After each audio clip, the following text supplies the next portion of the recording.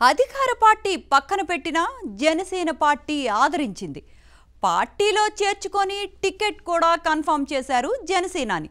అయితే సీటు దక్కిన ఆ ఆనందం క్షణకాలమైన నిలువలేదట. లేటుగా వచ్చినా లేటెస్ట్గా వచ్చాడనుకుంటే గట్టిగా నాలుగు రోజులు కూడా నిలబడలేక ఎవరిని కూడా మెప్పించలేక ఒంటరిగా మిగిలాడట. ఇంతకీ ఎవరా నేత? జనసేనాని మెప్పించిన లోకల్ నాయకులని మెప్పించలేక ఎదురీదుతున్న ఆ నేత ఎవరో తెలుసుకోవాలంటే let's get into the story.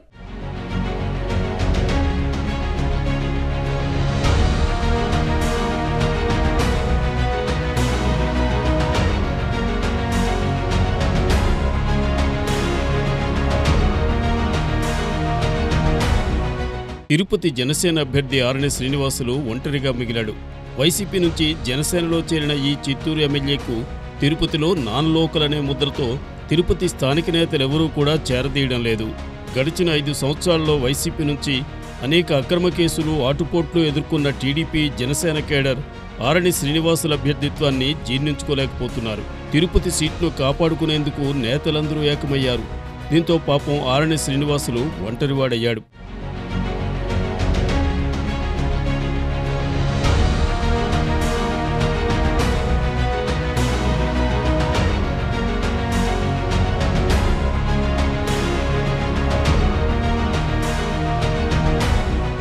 ముఖ్యంగా టీడీపీ నేతలు పార్టీని కష్టకాలంలో కాపాడుకుంటూ వస్తూ రెండు వేల ఇరవై నాలుగు ఎన్నికల కోసం వెయ్యి కళ్ళతో ఎదురు చూస్తుంటే చివరి నిమిషంలో అభ్యర్థి విషయంలో చోటు చేసుకున్న పరిణామాలతో తీవ్ర అసంతృప్తికి లోనయ్యారట.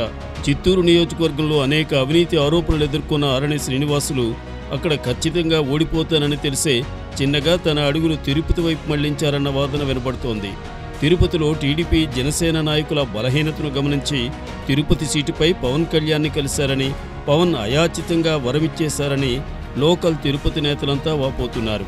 తిరుపతిలో సామాజిక సమీకరణాలు కేడర్ మనోభావాలు వాళ్ళ పడ్డ కష్టాలు మర్చిపోయిన ఇద్దరు అధినేతలు ఆరణికి తిరుపతి సీటు అప్పనంగా ఇచ్చేసి తమపై బలవంతంగా రుద్దేందుకు ప్రయత్నిస్తున్నారంటూ వారు బహిరంగంగానే ఆవేదన వ్యక్తం చేస్తుండటంతో తిరుపతి టిక్కెట్ మళ్ళీ రసకందాయంలో పడుతోంది. మరోవైపు తిరుపతి అభ్యర్థి విషయంలో తెలుగుదేశం జనసేన అధినేతలు తుది నిర్ణయం ఇదే అయితే కింది స్థాయిలో ఉన్న కేడర్ మాత్రం ఆరణి శ్రీనివాస్ నాయకత్వాన్ని బలపరిచే పరిస్థితి లేదని గ్రౌండ్ లెవెల్ రిపోర్టులు కూడా అందుతున్నాయి.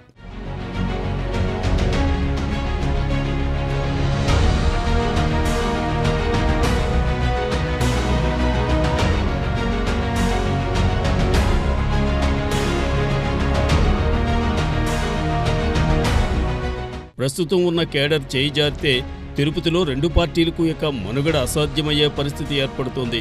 మొన్నటి వరకు చిత్తూరులో టీడీపీ కార్యకర్తలు నేతలను తీవ్ర ఇబ్బందులకు గురి చేసిన ఆరణి శ్రీనివాసులు తిరుపతిలో మాత్రం తమతో కలిసి ప్రయాణిస్తానంటే ఎలా అంగీకరించాలంటూ ప్రశ్నిస్తున్నారు తెలుగుదేశం నేతలంతా. అధినేతలిద్దరూ తిరుపతి అభ్యర్థి విషయంలో పునరాలోచన చేయాలని మొరపెట్టుకుంటున్నారు. తాజాగా తిరుపతిలోని ఓ ప్రైవేటు హోటల్లో మీటింగ్ పెట్టుకున్న టీడీపీ నేతలందరూ ముక్త కంఠంతో అభ్యర్థి మార్పు జరిగితేనే రెండు పార్టీల మనుగడ కొనసాగుతుంది. లేకుంటే పార్టీలు విచ్ఛిన్నమయ్యే పరిస్థితి ఉందన్న అంశాన్ని కూడా అధినేతలకు చేరవేశారట. అవసరమైతే తమలో ఎవరికి గ్రీన్ సిగ్నల్ ఇచ్చినా అవసరమైతే జనసేన పార్టీకి మారి ఆ పార్టీ అభ్యర్థిగానే పోటీ చేయడానికి తమంతా సిద్ధంగా ఉన్నామంటూ తెలుగుదేశం నేతలు అధిష్టానానికి సంకేతాలు పంపారట.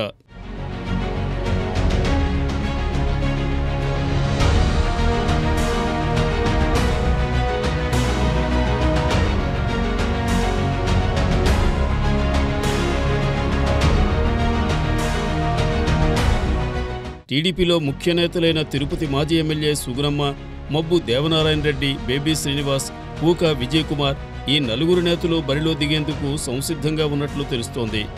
ముఖ్యంగా మాజీ ఎమ్మెల్యే సుగుణమ్మ సామాజికంగా ఆర్థికంగా బలంగా ఉన్న నేపథ్యంలో సుగుణమ్మకు తిరుపతి సీటు కేటాయిస్తే వైసీపీ అభ్యర్థి బొమ్మన అభినయ్ రెడ్డిపై గెలిచి ఇరు పార్టీల అధినేతలకు తిరుపతి సీట్ను గిఫ్ట్గా ఇస్తానని ప్రతిజ్ఞ చేయడం ఇక్కడ హైలైట్. ఇదే అంశాన్ని టీడీపీ జనసేన అధినేతల దృష్టికి తీసుకెళ్ళి తిరుపతి సెంటిమెంట్ను వివరించి వారి సమ్మతంతో ప్రస్తుతం ఉన్న ఆరణి శ్రీనివాస్ అభ్యర్థిత్వాన్ని మార్పించి తమలో ఎవరికి సీటు కేటాయించినా కలిసికట్టుగా పనిచేసి జనసేన శ్రేణుల సహకారంతో భారీ మెజార్టీతో నెగ్గుతామని అధినేతలిద్దరికీ హామీ ఇచ్చేందుకు సిద్ధమవుతున్నారట.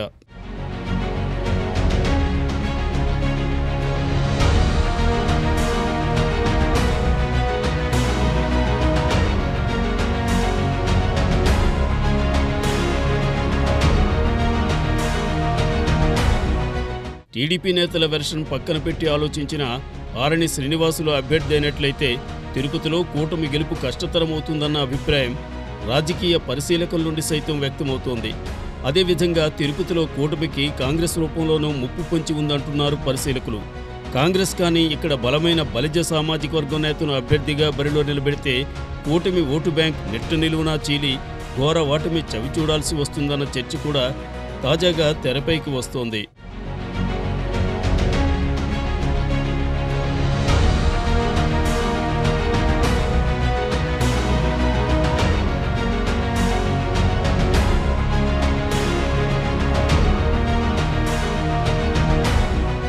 తిరుపతి సీటు కూటమి పార్టీలకు మొదటి సవాల్గా మారుతోంది. ఇటు టీడీపీకి ఇక్కడ బలమైన కేడర్తో పాటు బలమైన నాయకత్వం ఉంది. అయినప్పటికీ జనసేన పోటీ చేయడాన్ని పొత్తు ధర్మం ప్రకారం స్థానిక టీడీపీ నాయకత్వం స్వాగతిస్తోంది. అయితే పక్క నియోజకవర్గం నుండి అభ్యర్థిని తీసుకొచ్చి అది కూడా మొన్నటిదాకా జనసేన టీడీపీ శ్రేణులను శత్రువులుగా చూసిన వ్యక్తిని తీసుకుని వచ్చి ప్రతిష్టాత్మకమైన తిరుపతిలో పోటీ చేస్తుంటానే వారు జీర్ణించుకోలేకుండా ఉన్నారు.